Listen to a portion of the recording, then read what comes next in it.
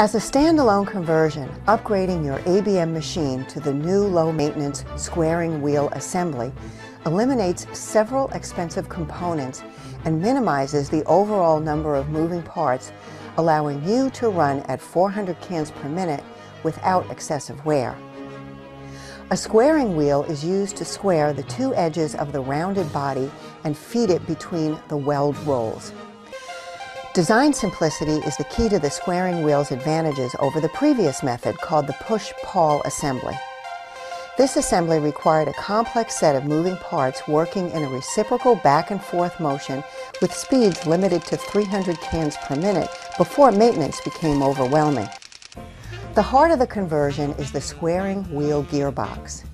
A set of elliptical gears creates a smooth rotary motion which accelerates the squaring wheel every half rotation to pick up the rounded body and feed it to the weld rolls during deceleration. Once the squaring wheel with its rotary gearbox is installed, the squaring assembly is no longer the bottleneck of the machine's mechanical capability. A second advantage of the squaring wheel gearbox is direct drive from the transport chain, which is achieved by means of a timing belt.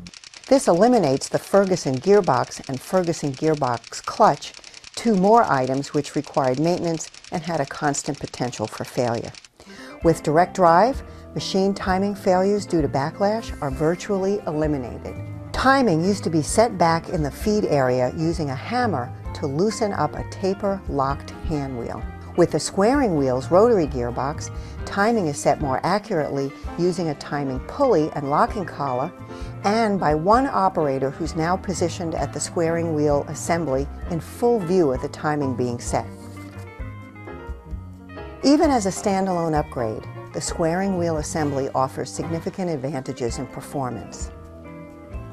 Reliability through a simplified design. Mechanical speeds of up to 400 cans per minute. A direct drive which eliminates many complex moving parts more accurate timing requiring only one operator.